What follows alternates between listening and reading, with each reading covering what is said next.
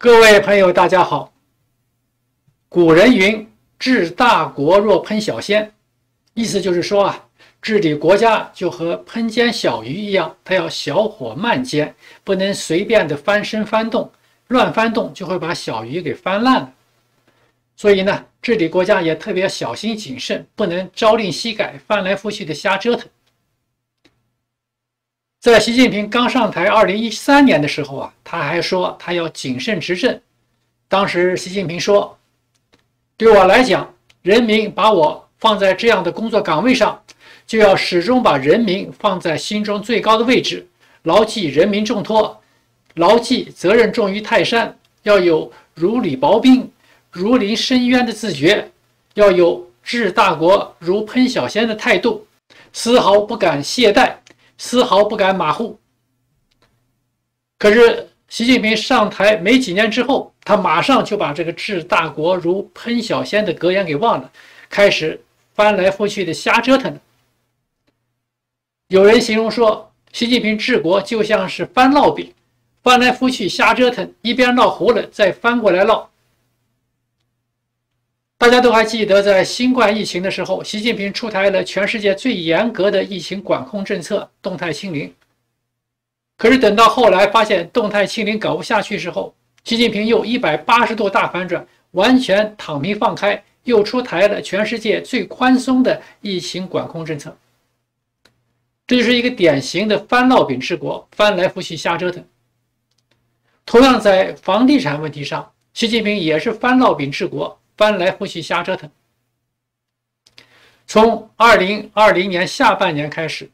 北京就出台了对房地产严加监管的三条红线政策，之后又连续出台了贷款集中度管理、集中供地的新政策，大大打击了房地产企业。当时的媒体评论说，房地产行业的土地红利、金融红利时代已经过去，房地产正进入史上最严监管时代。在二零二二年的时候呢，北京金融部门继续强调要认真贯彻落实党中央、国务院决策部署，坚持房子是用来住的，不是用来炒的定位，坚持不将房地产作为短期刺激经济的手段，持续落实好房地产长效机制，加快完善住房金融体系改革。所谓不将房地产作为短期刺激经济的手段，就是金融部门不增加面向房地产的融资。不靠房地产来拉动中国经济，对房地产要进一步的严格监管。当时啊，对房地产的严格监管，不仅是房地产商很难得到银行的融资，一般老百姓向银行贷款买房也变得非常的困难。在银行房地产贷款集中管理的制度实行以来啊，不少城市都出现了房贷额度紧张、房贷利率连续上调以及。房贷周期延长等现象，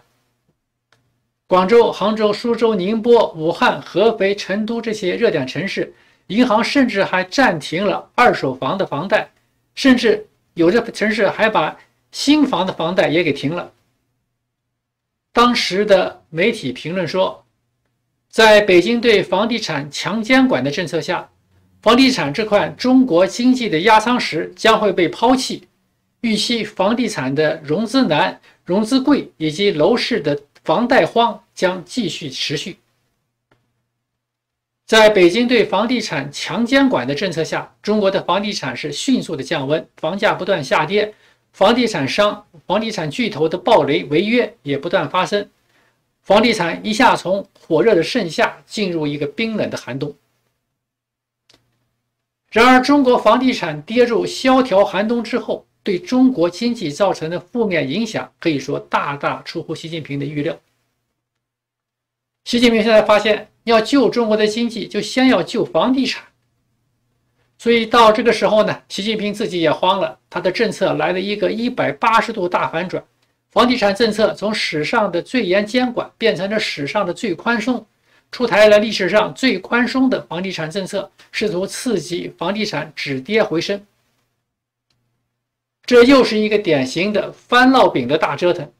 从2021年出台历史上最严格的房地产政策，到二零二四年又出台历史上最宽松的房地产政策，这个从最严到最宽间隔只有三年。这种政策的大反转、大折腾，在哪个国家经济都是受不了。早知道现在要出台历史上最宽松的房地产政策，三年前何必又出台历史上最严格的房地产政策呢？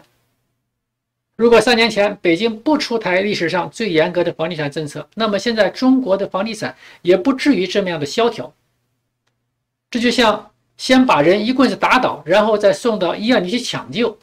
这样的瞎折腾也是一个历史级别的载入史册的。最近，北京对中国房市的强刺激政策被媒体用“史诗级”来形容这次政策的力度。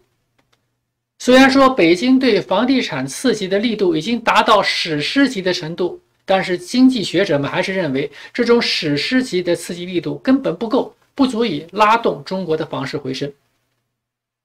据世界银行估计，中国房地产投资占整个国内生产总值 GDP 的百分之十三。而在发达国家，这个数字仅是百分之五。如果考虑到供应链的投入，中国房地产行业占中国的 GDP 大约达到百分之三十。在这一轮的房地产危机中啊，中国就经常被比喻成上世纪末的日本。日本在一九九零年代房地产泡沫破灭之后，它就经历了失落的二十年。所以呢，一般分析人士认为，中国的房地产低迷将是一个长期的。而且将持续数十年之久。现在中国的房地产萧条只是这个低迷期的开端，房地产危机是看不到底。习近平为自己辩解，他说啊，经过四十年的改革，容易的、皆大欢喜的改革已经完成了，好吃的肉都吃掉了，剩下的都是难啃的硬骨头。习近平的意思就是说啊，他的前任总书记江泽民、胡锦涛把好吃的肉都吃掉了。给他剩下的都是难啃的硬骨头。虽然说这么说也有一定的道理，但绝对不是习近平可以用来推卸责任的理由。比如说，中国的房地产泡沫问题确实是从胡锦涛时代开始的，但习近平完全可以小心谨慎的、循序渐进的来治理这个房地产的问题，完全没有必要来一个翻来覆去的瞎折腾，一会儿推出一个史上最严格的房地产监管政策。再过一会儿，又推出一个历史上最宽松的房地产刺激政策，这种政策上的翻来覆去瞎折腾，肯定不能让胡锦涛来背这个责任。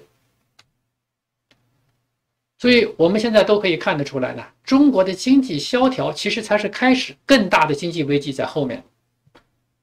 中国的经济危机可以用当年毛泽东搞大跃进的话来形容，就是三分天灾，七分人祸。甚至现在可以说是八分人祸了，因为发展经济和搞政治不一样，政治在一夜之间可以推翻一个政权，可是经济不可能一夜之间从萧条就变为繁盛。经济有它自己的经济规律运行，特别怕政治来干预经济。习近平这样的独裁者，他特别迷信权力，他以为他这个权力是万能的，可以用政治的权力来把经济给硬拉升起来。就像当年毛泽东说的：“打败国民党八百万军队难，还是炼一千万吨钢难呢？”我们打败了国民党八百万的军队，难道还炼不出一千万吨钢铁吗？